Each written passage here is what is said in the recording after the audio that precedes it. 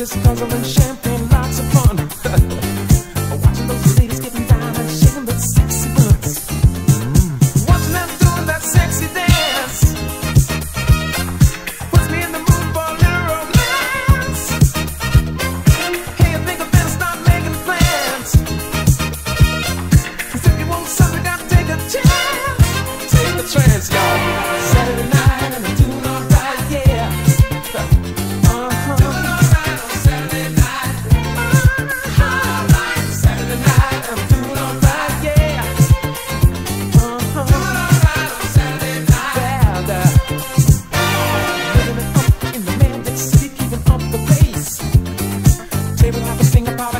shaking all over the place.